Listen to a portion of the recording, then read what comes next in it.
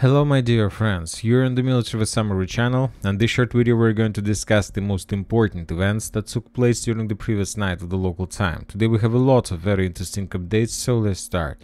First let's talk about Sumy direction. Russia's attack on the Sumy region can begin at any moment, said the representative of the State Border Service of Ukraine. The Russian army can at any time take actions similar to those taking place in the Kharkiv direction. This is being done in order to stretch the front line and the forces of the Ukraine armed forces, Dyminchenko said. Furthermore, the Russian sources, from the other hand, says that the currently the Ukrainians are trying to concentrate their forces in the vicinity of the village by the name of Kazachiy Lager.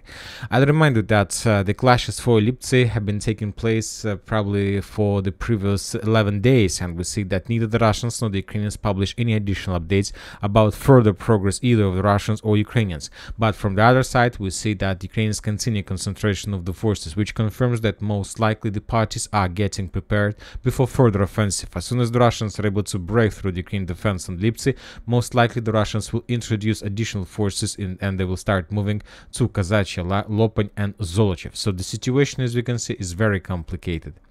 Now let's move to Vovchansk. As you can see, during the previous night, we haven't received almost anything from the direction, just few, let's say, artillery strikes, few FPV drone strikes on the Ukraine positions, somewhere in the southern part of Vovchansk. So nothing special, just regular military routine.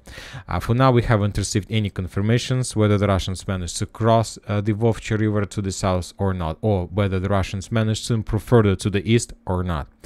Now we are moving further to the south. We have lots of very interesting updates uh, from Avdiivka directions. Uh, for example, the Russians continue bombing and attacking the Ukrainian forces in uh, in uh, uh, Seversk direction. The Russians continue bombing and attacking the Ukrainian forces between the trenches, fortifications.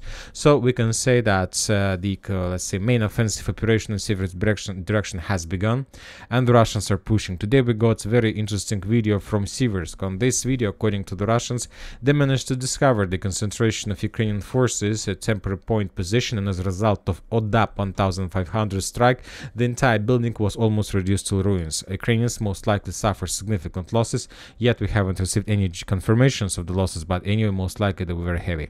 Now let's move to Yar. The Russians continue offensive operation, and today the pro-Ukrainian mappers confirmed additional progress of the Russian forces in the uh, northeastern part of the eastern Chasiv So according to pro-Ukrainian mappers, just this part was captured by the Russians during the previous 24 hours. Now let's move to Klishchiivka. As you can see, we have adjusted the map because uh, during the previous night we got significant number of confirmations, mainly from different reliable sources and uh, the few of them was like were like the main uh, hate or, or in Klishchiivka uh, like the village itself came under the full control of Russian army.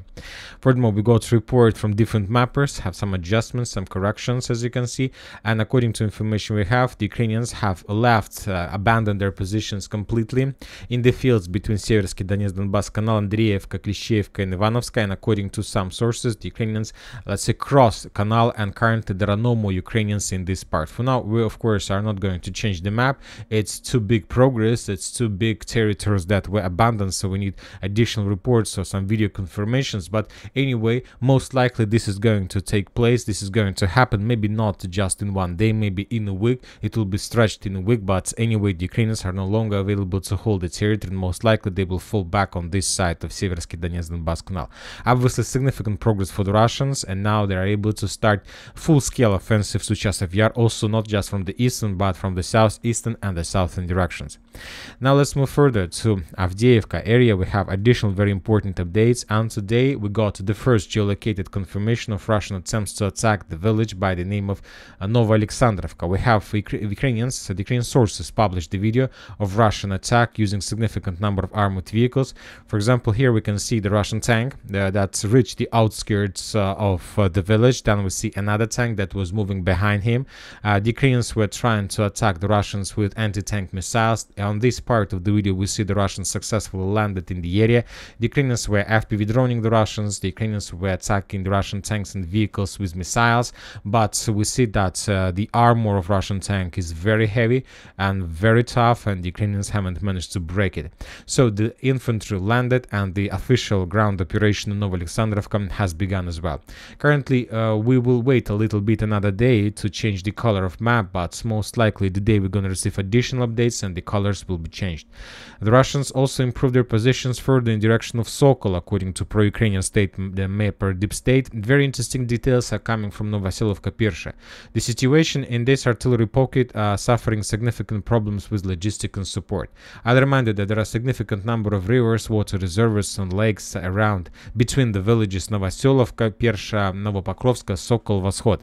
And I'll remind you that during the previous weeks the Russians destroyed every single bridge in this area and the, during the previous days the Ukrainians made a lot of attempts to restore at least one bridge, to restore the road, to restore supply and support, but the Russians controlled the situation and when the Ukrainians brought additional engineering equipment, the Ukrainian machine was destroyed as a result of Lancet strike. So the Russians are not going to give the Ukrainians any chances to start, let's say, uh, supporting this territory um, until this territory falls.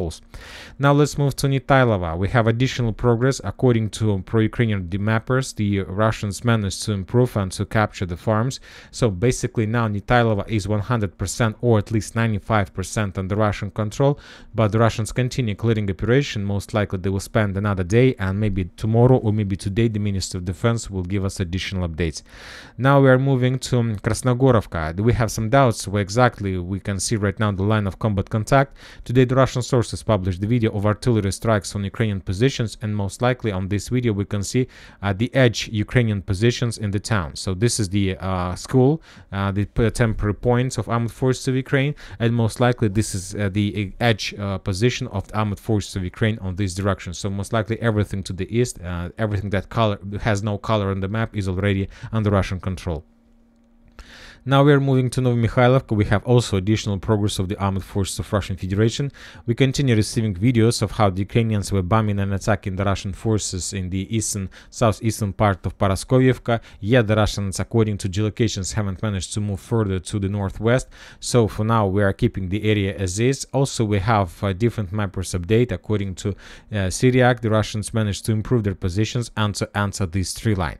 The tree line that uh, further moves, uh, that goes that lays further to that is heading towards uh, Konstantinovka itself and most likely the Russians will try to use this tree line for further offensive at least to sending additional forces and reinforcements to the west uh, with the purpose to get Parasko, uh, no, Konstantinovka itself.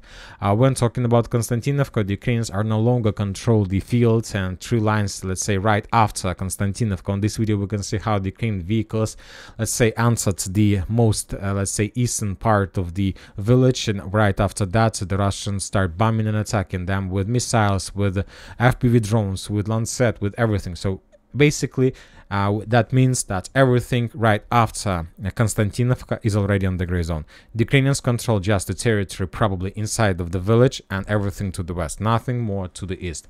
So the battle continues and most likely we are going to see more and more updates about the situation. Now we're moving to Staromayorsk Urozhaine. We have uh, geolocations, first geolocations confirming the Russian presence inside of uh, Staromayorsk. During the previous days, we remember sources reported that the Russians entered, but we were keeping the territory as a gray zone. And now the Ukrainian sources published significant number of videos with FPV drone strikes. And these are, as you can see, the Ukrainians were trying to stop another Russian wave of attack. And there was an episode when the Ukrainians were attacking the Russians right inside of Staromayorsk itself. This is it. So this is episode was geolocated.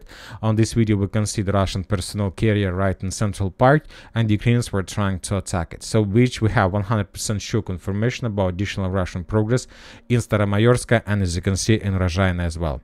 Uh, very interesting updates are coming from uh, let's say Odessa and Nikolaev area, more precisely from the entire Ukraine.